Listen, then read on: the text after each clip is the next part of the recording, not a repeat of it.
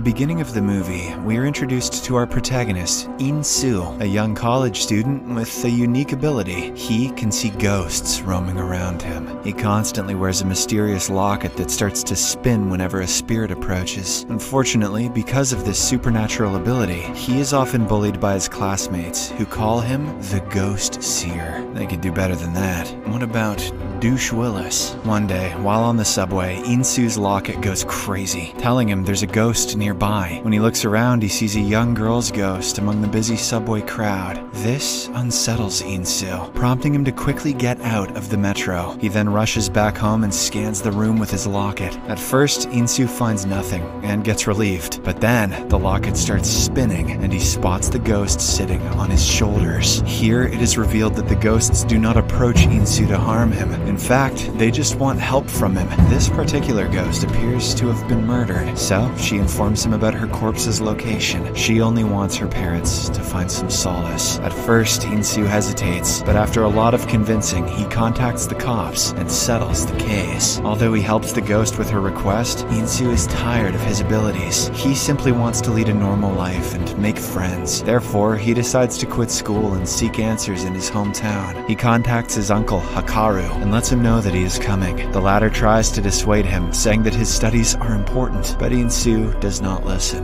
Dad, if one more ghost sits on my face, I'm gonna freak. In the next scene, he returns to his hometown, and along the way, he spots a beautiful girl named Rose. Later, Insoo meets his uncle, who seems to have the same capacity to see ghosts like him. Not only this, he is a master exorcist who is known for banishing ghosts to the afterlife. The next day, Insoo gets admitted to his childhood school. The teacher introduces him to everyone, and Insoo hopes that he can have a fresh start here. Unfortunately, a group of bullies notice him and immediately start tormenting him. One of the bullies, named Hyun Ji, even flirts with him, despite having a boyfriend, Hai Chul. She thinks he's the Bruce Chillest. As all of this is going on, Insoo spots a female ghost wearing a mask outside the classroom and becomes horrified. Later, as he is returning home from school, Hai Chul suddenly attacks him from behind and beats him up. The bully warns Insoo to stay away from his girlfriend, even though she was the one flirting. Hai Chul then threatens our boy by bringing up the case of a certain Ah Young. She died under mysterious circumstances years back, and Insoo was visited by her ghost numerous times. She always pleaded for help, but Insoo never had the courage to do so. This was one of the main reasons why he transferred to the city. The scene then cuts to one of the female bullies, who returns home and discovers a polythene bag hanging on the front door. When she tries opening it, the polythene breaks, and blood spills all over her face. Scared, the bully desperately tries to phone her friends, but the call just won't connect. Then,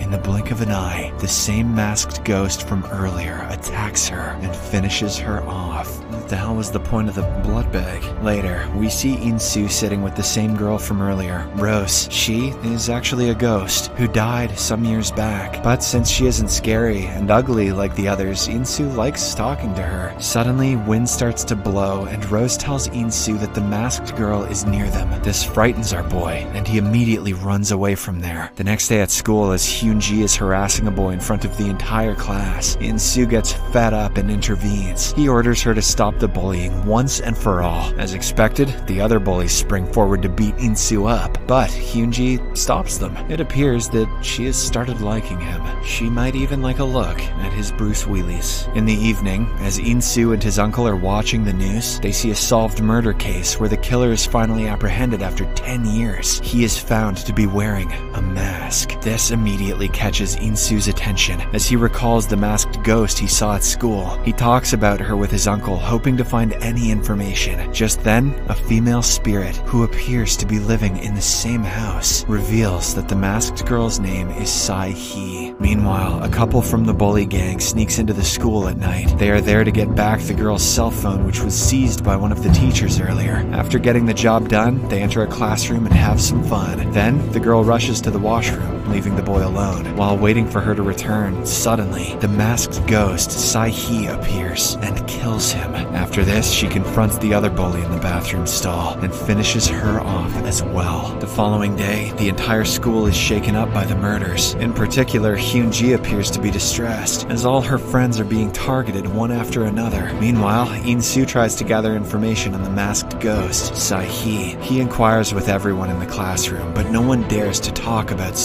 Despite the fact that they are aware of her. It appears that her death had something to do with the bully group. Later, while In-soo and Rose are enjoying their time together, he receives a message from one of his classmates. She includes a photo of Sai-He, as well as a statement mentioning that she should not be questioned about Sai-He anymore. In-soo then asks Rose if she knows anything about Sai-He. In response, the beautiful ghost girl says that the entire school knows.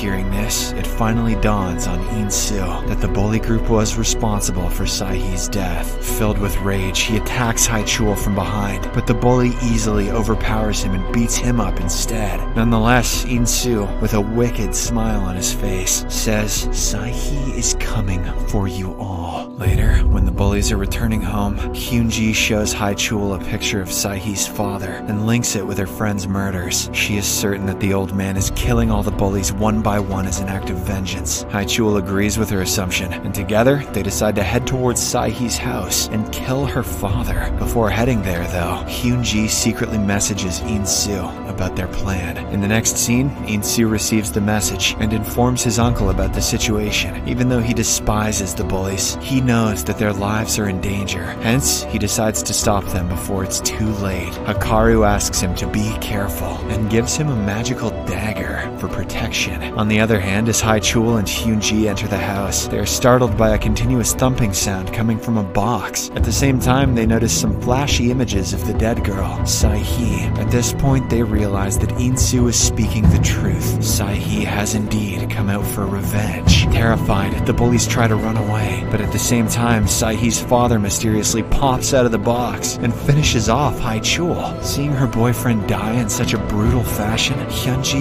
begs for her life. She even apologizes for everything that she did in the past. However, the father doesn't listen to her words and kills her as well. In the aftermath, In-soo finally arrives at the scene. He enters the house to find his classmates lying limp on the floor. He also notices Sai-He's father and realizes that he has been possessed by his daughter's ghost. Just as In-soo is about to leave, he hears a sound coming from a nearby closet. Inside, he finds Sai-He with her usual mask on. In-soo courageously unmasks her and discovers that she is none other than Rose. Following this, we are taken to the past to find out what really happened. Sai-He was a fun-loving girl at the same school, but just like the others, she was also tormented by the bully group. One day, after reaching her breaking point, she complained to the head teacher about Hyunji's bullying behavior. Taking the matter seriously, the teacher insulted Hyunji in front of everyone. This enraged the bully girl so much that she decided to make Sai-He's life a living hell. From the next day onwards, Hyunji and her gang started treating Sai-He like an animal. They beat her up, pulled her hair, set fire to her hair, and even forced her to wear a mask. All the students in the class witnessed this, but they never spoke up due to fear of meeting the same fate. The constant torture took a toll on Sai-He's life, and she cried all the time at home. Her concerned father advised her to contact the head teacher, but Sai-He declined, saying this would only escalate things. Then, one day, fed up with the constant abuse, she committed the unthinkable. In the afterlife, her spirit split into two personalities. The first one is Rose, who resembles the actual Sai-He, sweet and always helpful to others. The second one is the masked girl, who is on a quest to eliminate all her tormentors. In the present, In-soo discovers a diary in which all of the victims' names have been crossed out, except for the head teacher. This means that the masked girl is not done with her killings yet. Scared, In-soo immediately calls his uncle and requests him to go to Sai-He's house and execute the burial rites. He then proceeds to the school in order to save the head teacher. In the next scene, as the head teacher is working alone, she is confronted by Saihi's spirit. Shortly after, Insu arrives at the school and he immediately inquires about the teacher. However, no one seems to have seen her. Suddenly, the lights go out and Saihi appears in front of them, having possessed the head teacher's body. She then reveals her true masked self and says that since they all turned a blind eye to her when she was being bullied, they all deserve to be punished. Insu attempts to stop her, but Saihi grabs a lighter and throws it on the ground where gasoline was thrown before. At this moment, it appears that all the students are going to be burned to death. But surprisingly, Rose, the alter ego of Saihi, catches the lighter before it can hit the ground. The two then have a ghastly conversation where Rose tries to stop her other self from harming the students. However, Saihi, who is much more powerful, easily swats away Rose, making her disappear. This split personality demon can handle physical things and it banish itself. Gonna have to nerf that shit in the next patch. On the other hand, Hikaru reaches Saihi's house and starts his supernatural procedure. With her spiritual strength, Saihi begins to shatter everything in her path. On the other side, Insu begins checking the magical locket on anyone who could be possessed by Rose. When he discovers the locket spinning around a girl, he tells her to stop everything and provides her with a notebook that he found inside Saihi's container. The scene swings back to a flashback, revealing that Insu and Saihi were childhood friends. They appeared to be in love,